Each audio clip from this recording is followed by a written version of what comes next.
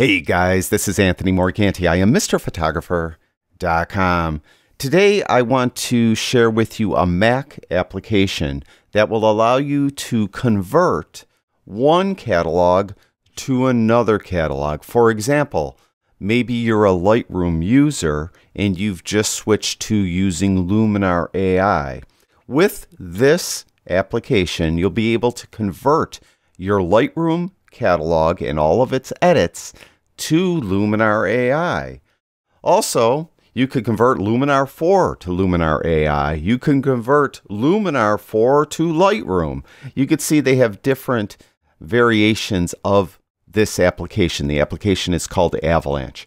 First of all, they have Avalanche for Lightroom. It's $59. You can convert an Aperture or Luminar catalog to Lightroom. With Avalanche for Luminar, you could convert an Aperture, Lightroom, and Luminar 4 catalog to Luminar 4 or Luminar AI. With Avalanche Unlimited, you could convert back and forth between all of those different applications I just mentioned. And coming soon, they're going to have Avalanche for Capture One. And with that, you could convert an Aperture, Lightroom, or Luminar catalog to Capture One. But that isn't available yet. Now, let me say at this time that I am not affiliated with this company at all, and they're not paying me to do this video. As a matter of fact, I've never used it. I'm going to use it for the first time right now. Now, I am going to convert a Luminar 4 catalog to Luminar AI because I know many of you want to upgrade to Luminar AI, but you aren't doing so because the catalogs between Luminar 4 and Luminar AI aren't compatible and Luminar AI doesn't convert the Luminar 4 catalog. So let's see how it does, and let's see how it kind of brings over those edits from Luminar 4 into Luminar AI. Now, I have the um, Avalanche Unlimited is what I have. And when you first open it, it will show you all your external hard drives, and it's going to ask you to pick one of these volumes, and it will search for catalogs automatically. Now I'm not going to do that because I know where my Luminar 4 catalog is. So I'm just going to open up a Finder window. I'm going to go to my Pictures folder and you can see I have a Luminar 4 catalog uh, folder. And there's my Luminar 4 catalog. And all you need to do is drag it right there. So I'm going to drag it right there. And what it will do, I guess, like I said, I've never used it before. Um, okay, it's showing me a graph. I have apparently images here. I don't have many, by the way. Uh, my Luminar 4 catalog, I kind of um, got rid of a lot of images that I didn't need in it because I have in my Lightroom catalog. So I think I only have like 15 images right here, it says. So I have 15 images ranging from 2015 to 2020, and I want to convert this catalog. So I'm going to click this convert button. And because I have lim, um, the uh, Avalanche Unlimited, I could convert this Luminar 4 catalog to Lightroom and you can see if I do that, I could have all these options. But I'm going to convert it to Luminar AI, as I mentioned. So I have options to ignore videos. There are no videos in this catalog, so I don't have to worry about that. Copy reference master files. So these are the actual images themselves. Uh, yes, I want to copy them because I want this to be a totally unique Luminar AI um, catalog, and I want to include all the images uh, with it. Uh, separate image and video hierarchies, no big deal. I don't have any videos, so there's no big deal. Type of exported folder structure. Uh, by default, it's showing year month. I uh, could also do year month day. All the others are grayed out. I think we'll do year and month. We'll just leave it at that.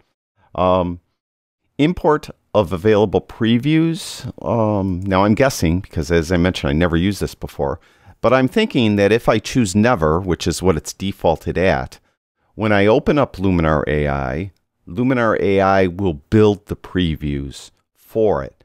If I choose one of the other uh, options, it will take the preview already um, that is there and put it in my converted Luminar AI catalog.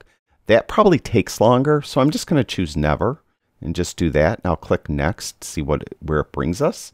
Okay, now it's asking me for um, a destination folder for the project. Now I'm actually going to put it on this Final Cut Pro external hard drive I have. I'm only putting it there because I have a lot of space on this hard drive. Um, so I'm just going to click Browse. And then I'm going to go to that Final Cut Pro hard drive, which is right here. I'm going to get a new folder and I'm going to call it my converted Luminar 4 catalog to Luminar AI. Here, we'll make it really wordy. All right. So that's going to be the folder it's going to be in. So right there, we're going to choose it. And now I guess I'm going to click convert and let's see how it does. And again, it's supposed to convert the edits too. Um, I'm not sure how good of a job it does on converting edits. Now, I would imagine going from Luminar 4 to Luminar AI, it will do a better job than, let's say, Lightroom to Luminar or Luminar to Lightroom or something like that. Um, but, um, and I should add real quick, uh, this application, as I mentioned, I'm not affiliated with it. I'll have in the description below this video a link to this web page that I showed you. But this is available in the Mac App Store. So you could just go to the App Store and search for it, and you could download it for free. And in the trial version, it will convert 100 images at a time. So you could give it a test run and see how well it does. Uh, see, it comes up here. Uh, please take note of the following information. Since Luminar does not handle videos, all videos, all right, we know that. Reading the input catalog took less than a second. Yeah.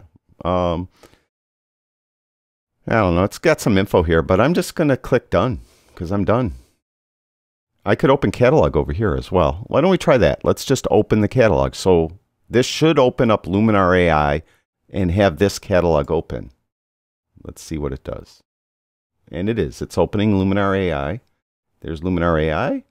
And there's my images. As I mentioned, I only had 15. And these images are all edited. So let's look at the edits. Let's go to this one.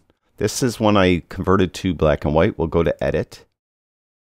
All right, one thing that I see it didn't convert right off the bat. See this little spot right here? I know for a fact I removed that little spot. And in Luminar 4, when you use, like do spot removals, uh, it's on another layer. So because Luminar AI doesn't have layers, apparently it won't bring all that layer information with it. But as far as the edit, the edit is exact. Uh, here's an eagle. Uh, let this render. I think it's a little blurry at the moment. There it goes. Um, again, I had a layer here where I enhanced the eagle's eye. I just brightened the eye up on its own layer. Um, that didn't come over, but all the other edits did. And you can see over here, um, whatever tool I used will have a little dot next to it. So those edits were transferred uh, perfectly. Uh, here's my cat Rocky. Let that render. And it looks like this is perfect once it renders. It is taking a long time to render. But there is um, little dots there, you could see. And did that one perfectly. Uh, here is a bird. It's probably taking a little long time to render because, as I mentioned, it has to generate the previews because I didn't transfer any previews with it. Uh, this one looks perfect. Here's another bird. Now, this one's going to probably not take this little spot away because I had uh, that on its own layer. But it did everything else. So it does look like it does a pretty good job on conversion, but it's going to miss some stuff. But at least it will get you close and it will save you a lot of time. Uh, here is uh, my son and his fiance. Let that one render. I don't think there are any layers on this one. Yeah, that one's perfect. Let's see. This one had no layers. Let it render. That one's perfect. This one had no layers, as I recall. Let it render. This one I only used, if I recall, I only used the portrait yeah, face and skin. So that's all I used. You can see the two dots there. It's saying optics. Oh, well, of course it did optics. All right, so this one here, let this render.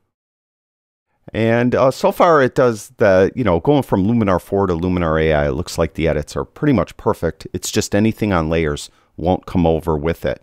Um, maybe in a future video, I'll convert Lightroom to Luminar AI and we'll see how that does. Now my Lightroom catalog has like tens of thousands of images in it. And I'm not going to do the entire catalog. So what I'll do is I'll create a new catalog of maybe 20 images that all have different types of Lightroom edits done to it. We'll convert it to Luminar and we'll see how that goes. So look for that video in another day or two. And again, in the description below this video, I'll have a link to that website. You could check it out a little more. If I find any more information about this application, I'll also have that linked uh, below. Um, but again, uh, it's available in the App Store. Just go to the App Store and check it out. You could download it for free. And from what I understand, and if I'm wrong on anything I've said, um, those of you that are more in the know than I, please correct me in the comments. I won't mind if you correct me at all. Uh, but just let me know and if I'm wrong about anything, and uh, we'll go from there. So overall, though, I think it did a pretty good job going from Luminar 4 to Luminar AI. As a matter of fact, it did a great job. Just those layers, uh, it didn't convert. So thank you, everyone who watches my videos. I really do appreciate it. I'll talk to you guys soon.